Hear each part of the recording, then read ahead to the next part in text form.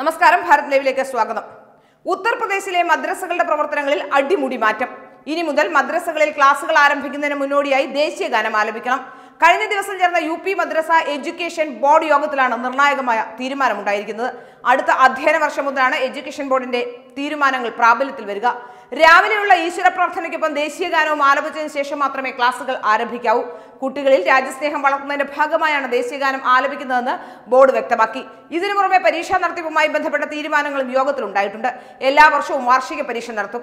ഈ വർഷത്തെ പരീക്ഷ മെയ് പതിനാല് മുതൽ ആരംഭിക്കും. പാഠ്യപദ്ധതിയിൽ ഇംഗ്ലീഷ് ഹിന്ദി കണക്ക് സാമൂഹിക ശാസ്ത്രം സയൻസ് എന്നീ വിഷയങ്ങളും ഉൾപ്പെടുത്തും. മദ്രസകളിൽ ഇനി മുതൽ അധ്യാപകർക്ക് പ്രവേശനം നൽകുക വിദ്യാഭ്യാസ യോഗ്യതകളുടെ അടിസ്ഥാനത്തിലാകും. ടീച്ചേഴ്സ് എലിജിബിലിറ്റി പരീക്ഷ എഴുതി വിജയിക്കുന്നവരെ മാത്രമാകും ഇനി മുതൽ അധ്യാപക തസ്തികകളിലേക്ക് പരിഗണിക്കുക.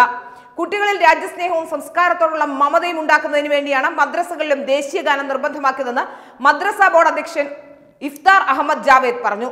നിലവിൽ ചില മദ്രസകളിൽ ദേശീയ ഗാനത്തിന് ശേഷമാണ് ക്ലാസുകൾ ആരംഭിക്കാറുള്ളത്. ഇപ്പോൾ ഇത് നിർബന്ധമാക്കുന്നുവെന്ന് മാത്രം. യോഗ്യതയുള്ള അധ്യാപകരുടെ നിയമനത്തിൽ അന്തിമ തീരുമാനം മാനേജ്മെന്റിന്റേതായിരിക്കുമെന്നും അദ്ദേഹം വ്യക്തമാക്കി.